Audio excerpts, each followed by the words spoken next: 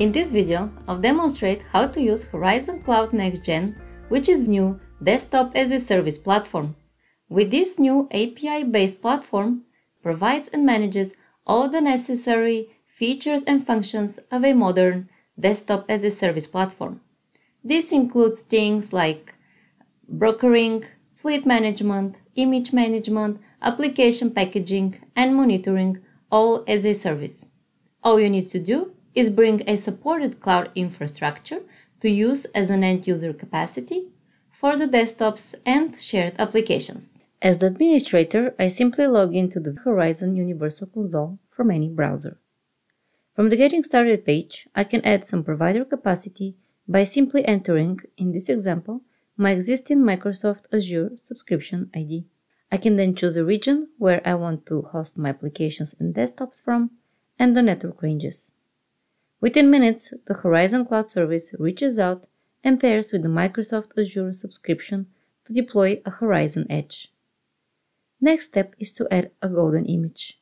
Horizon Cloud has made it easy to do this from either the Azure Marketplace, the Azure Gallery, or from a VNet in the subscription. All the necessary agents are applied before I install the applications I want to publish. Now I can create a pool of virtual machines, either Windows 10 multi-session or Windows Server machines to host the applications and desktops.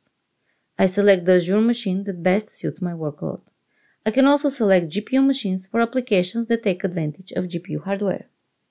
I can configure power management features that allow me to save cloud infrastructure costs when my hosts are not being used. Now that my virtual machines are running, I can get to the fun part, entitling applications to end users. I can entitle applications to a group of users, including Eric Turple, our star employee. I have also entitled Eric to use a full desktop as well. Okay, so here comes Eric. He logs into the Horizon service via browser to an identity provider, in this case Workspace ONE. After that, he will see all the resources he is entitled to use in a single portal. Here is a desktop he is using to create reports.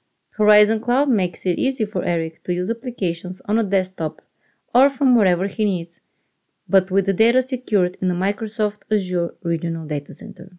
Going back to the Horizon Cloud Universal Console, I can see dashboards and reports about system health and active users. If I need more details, I use Workspace ONE Intelligence for Horizon by viewing the Digital Employee Experience Management reports to get information about what individual users are using in the environment right now, or dive deeper into possible problems around longer than expected login times for some users. For more Horizon technical resources, be sure to visit techzone.omnissa.com.